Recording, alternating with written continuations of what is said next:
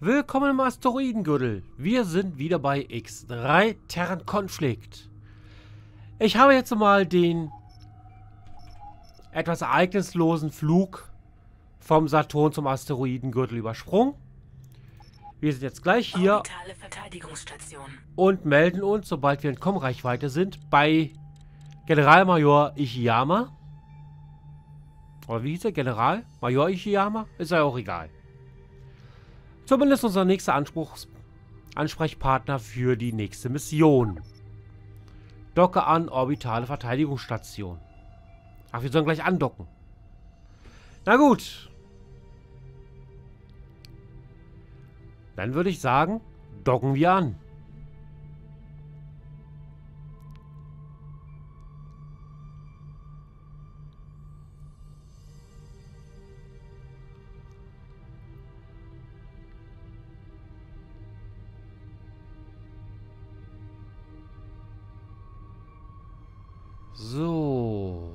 Komm schon, beweg dich.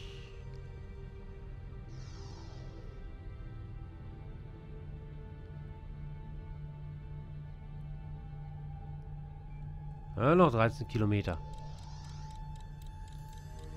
Sie sprechen mit dem automatisiert positiv. Bitte docken Sie an, sobald Sie grüne Positionslichter sehen. Bitte docken Sie an, sobald Sie grüne Positionslichter sehen. Na, das machen wir doch gerne. Was verstehst du unter Andocken? Ah, der hat einen Unlockring. Okay. Also diesmal dürfen wir nicht in die Station rein. Diesmal müssen wir draußen dran kleben. Ach, da drüben auch noch. Stopp. Genau. So. Undock-Vorgang erfolgreich. Wir entbieten einem Freund der Terraner Verbindung zum örtlichen Handelsnetzwerk hergestellt.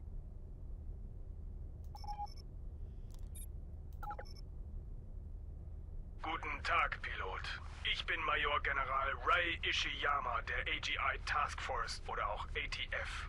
Wie Sie wahrscheinlich schon wissen, ist die ATF beauftragt mit der Verteidigung des Sonnensystems vor illegalen Artificial General Intelligences oder kurz den AGI. Diese Dinger sind echt übel.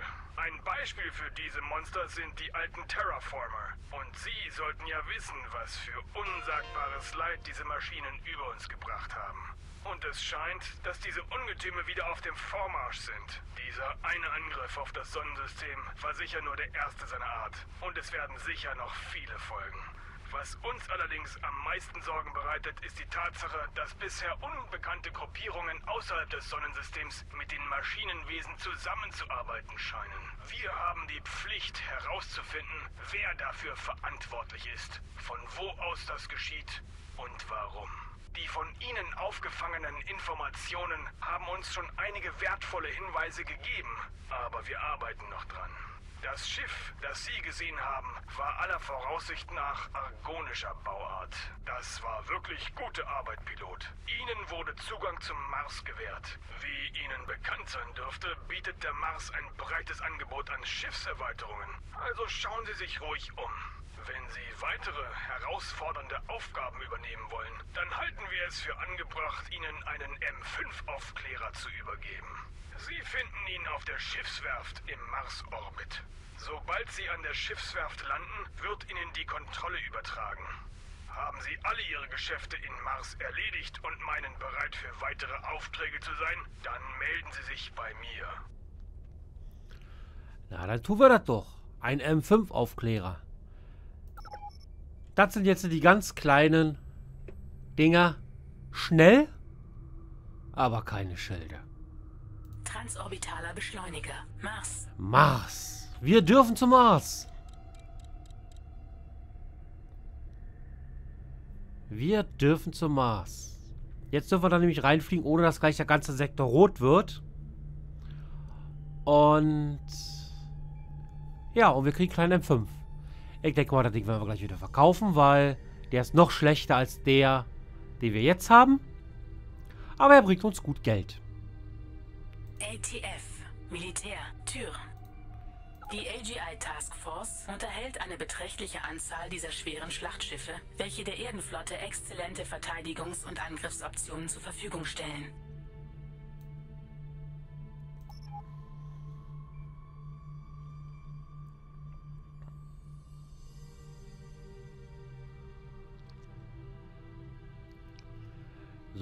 Mars, der rote Planet.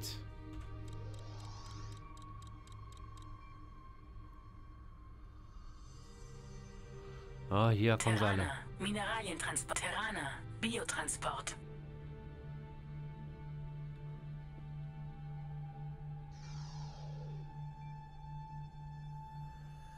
Die kleinen Handelspiloten.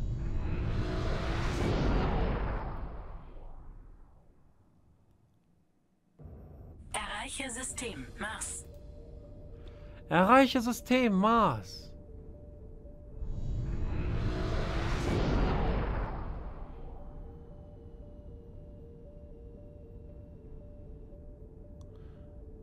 Ja. Haben wir vorher nicht gesehen. So, wir docken dort an, um ein Schiff abzugreifen.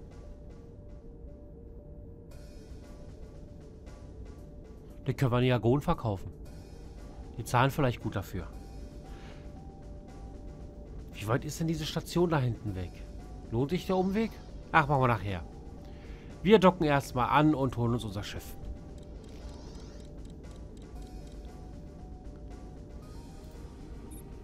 Sie sprechen mit dem Auto positiv.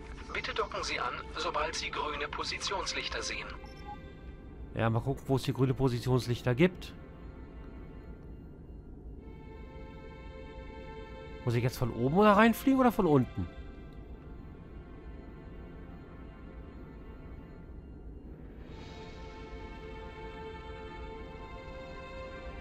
Ach, da.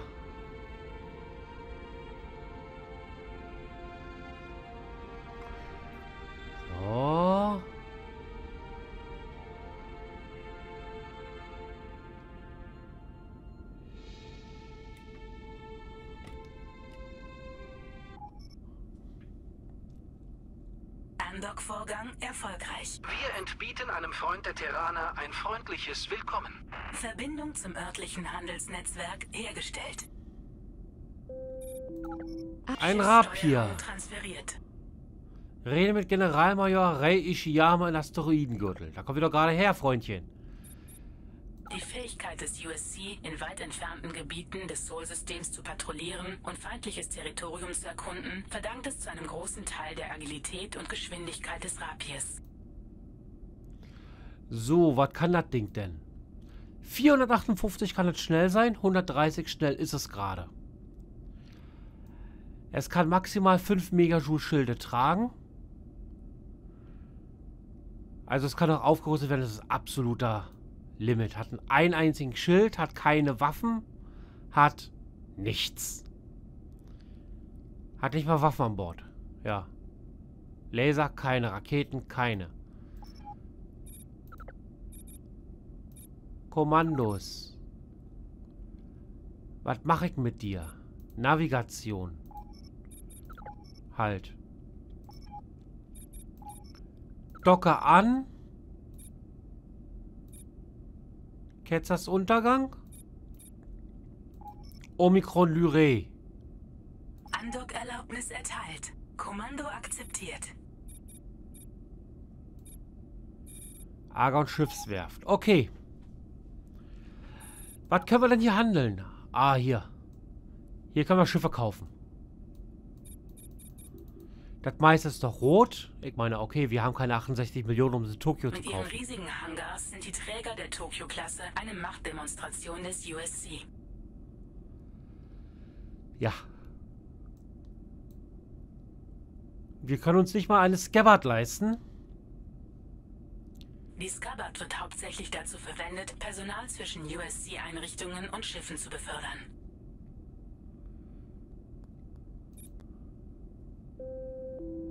Wir Der Sabre ist ein leistungsfähiger mittlerer Jäger, der für das Abfangen feindlicher Schiffe optimiert wurde. So ein Sabre, den können wir gebrauchen. Kostet 300.000, wir haben 30.000. Gut, Thema erledigt. Tschüss. Da unten fliegt unser Rapier. Aber der wird noch eine Weile brauchen. Das heißt, wir begeben uns jetzt zum Asteroidengürtel und überlassen den Rapier erstmal seine Aufgabe, nach Omikron Lyrae zu fliegen. So. Wie weit ist denn jetzt das... Ach, das ist hier hinten. Nee, ich fliege nicht zu dem Solar. Ja, wobei, wenn wir später einen Händler hierher schicken, brauchen wir das Solarkraftwerk.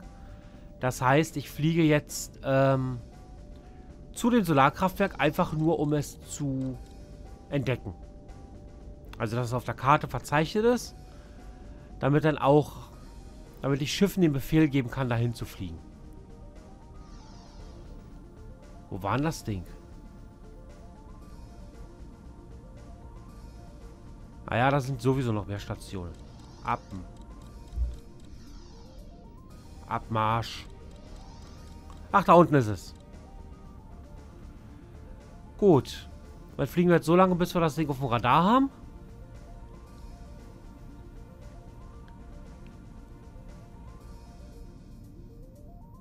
Raketenfabrik Geist, Alpha. Diese Raketenfabrik stellt Raketen des Typs Geist her. Starbust Schockwellenkanonenschmiede, Alpha. Diese Waffenschmiede ah. stellt die Starbust Schockwellenkanone her. Leg mal, da kostet also eine Kanone schon 600.000.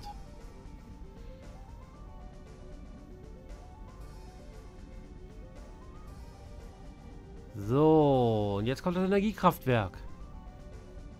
Sonnenkraftwerk. Sonnenkraftwerke erzeugen Energie. Zwölf. Man findet sie überall im bekannten Universum, wo sie von allen Völkern verwendet werden. Sie sprechen mit dem Automati positiv. Bitte docken Sie an, sobald Sie grüne Positionslichter sehen. Das machen wir doch gerne. Mal gucken, wie man hier andockt.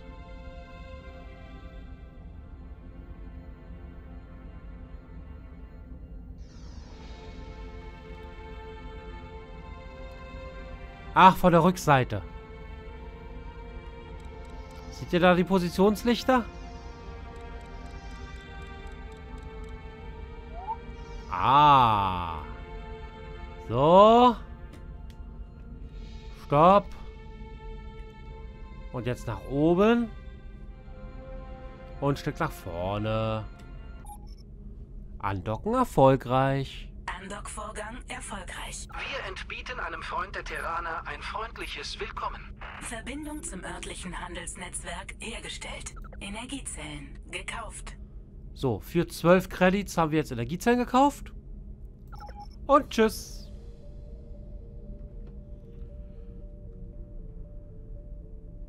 Dass mal hier unser Handelsrang ein bisschen steigt.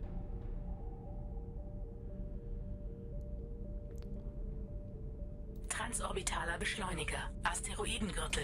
Also ist er fast 100 Kilometer wieder zurückfliegen.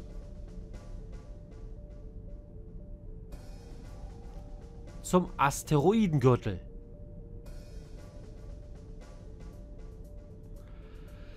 So, in der Zeit können wir mal gucken. Missionen. Rede mit, ja, Ray Ishiyama. Mit dem haben wir gerade schon geredet. Und jetzt kann man auch sehen, Mars, da Quatsch, mein Besitz. Ich habe jetzt zwei Schiffe. Ja, das Elite, was ich selber fliege. Und ein Rapier befindet sich in Asteroidengürtel mit Ziel Omikron Lyrae.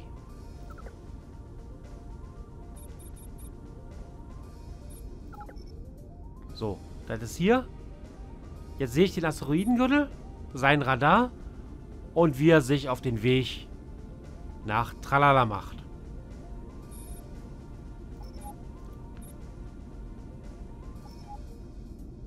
Klingt doch gut. Und später kommen noch weitere Schiffe dazu. Chris, Kampfdrohnen. Die Kampfdrohne der USC wurde nach einem kleinen Dolch mit geflammter Klinge benannt. Brauchen wir nicht. USC Orbitale Verteilerbasis. Diese Station ist die zentrale Nachschubeinrichtung für die abgelegenen Sektoren der Terraner. Auf Planeten angebaute Bioprodukte werden wie auch die fertigen Waren hierher geliefert und dann weiterverteilt. Der würde uns jetzt die Energiezellen für 16 abkaufen.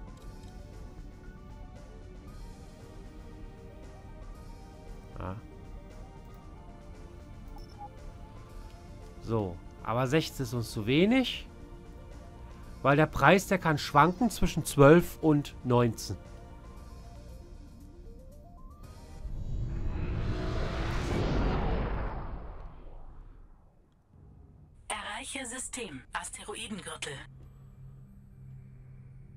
Orbitale Verteidigungsstation. So, jetzt müssen wir in Kommreichweite kommen. Bergbaustation. M. Gamma. Diese Station wird zum Abbau wertvoller Ressourcen von Asteroiden genutzt. Orbitale Verteidigungsstation. So.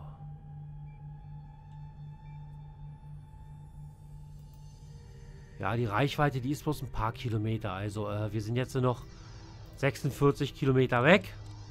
43. Da ist nicht viel mit Kommreichweite.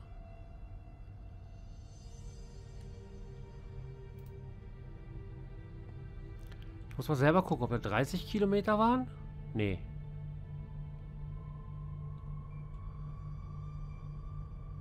Da, 25 Kilometer Kommreichweite. Sie sprechen mit dem automatisierten Kommunikation. Hallo Pilot. Guten Tag, Pilot. Wie Ihnen sicher schon aufgefallen sein dürfte, sind die Regierungen der Gemeinschaft über unser Auftauchen in ihren Territorien alles andere als erfreut. Das wird uns jedoch nicht davon abhalten, sie eingehend zu beobachten. Ob nun mit oder ohne ihre Unterstützung.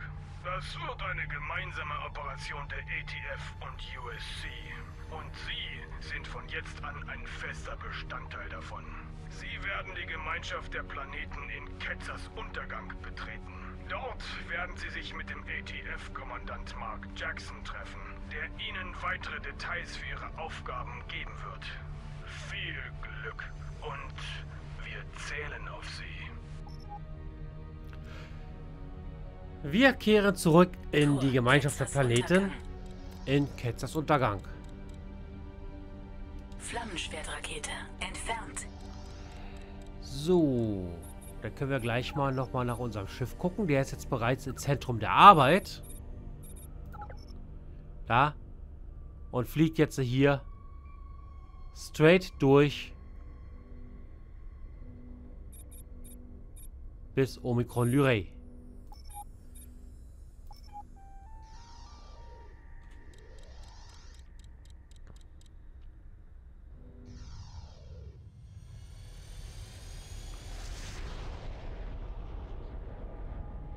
Erreiche System. Ketzers Untergang. Juhu! Orbitale Verteidigungsstation. Sie sprechen mit dem automatisierten Kom Wie kann ich Ihnen helfen? Ja. Wie kann ich Ihnen helfen? Süden, Pilot. So nennen wir diesen scheußlichen Platz hier hinter dem Tor. Sie jedoch nennen ihn Gemeinschaft. Wie war Ihre Reise?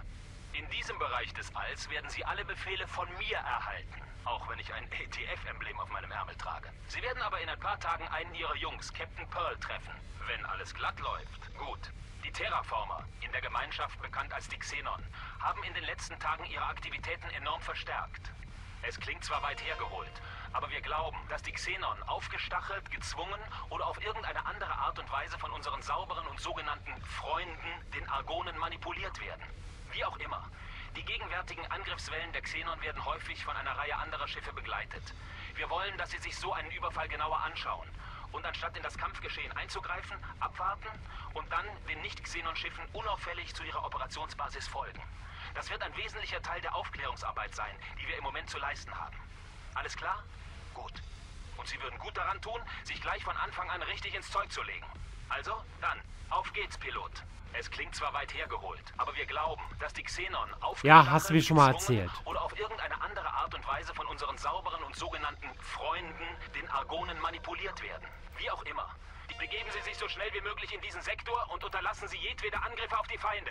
Folgen Sie einfach nur den Nicht-Xenon zu Ihrer Basis und scannen Sie diese, sofern möglich. Jackson, Ende. PTNY Hauptquartier? Das haben wir doch noch gar nicht auf unserer Liste. Genau, hier. Grüne Schuppe. Jetzt ist da natürlich ein Problem. Eins, zwei, drei, vier, fünf Sektoren. Die kriegen wir gar nicht so schnell. Bis dahin ist der Angriff gelaufen. Das heißt, unsere Aufgabe wird jetzt sein, hier rüber zu fliegen und den nächsten Angriff abzuwarten, weil hier kommen wir zu spät. Den Sektor kennen wir ja noch nicht mal. Ich würde sagen, deshalb, wir, flie wir fliegen jetzt mal zu Grüne Schuppe. und warten dann einen der nächsten Aufträge ab. Also Angriffe ab, in der Hoffnung, dass sie rechtzeitig in der Nähe sind.